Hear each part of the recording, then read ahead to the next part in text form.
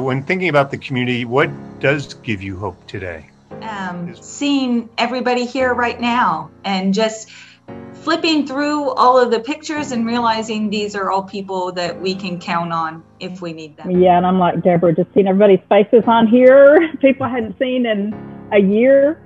Um, that I consider friends and, and missing them deeply and missing those relationships. And we're getting together, making discussion, and people are coming together trying to make a change. Race relations in our county, uh, the uh, diversity, economical differences, and um, that just gives me hope that we are addressing all of these things that are at the forefront. We started doing this, you know, a couple years ago uh, through the public innovators and the organizations, the stakeholders in the community, I think, are really coming together, and that is so important uh, to build what we need here and to keep it moving.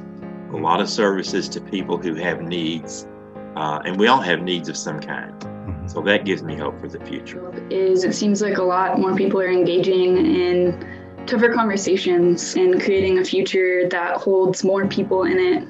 Um, in the ways that we want them to be held. Um, the question is what do you stand for as you seek to harness these things, which helps ground us and give us a sense of, of who we are and what we really value? It fuels how we decide to show up for ourselves and how we decide to show up for one another in the community, right?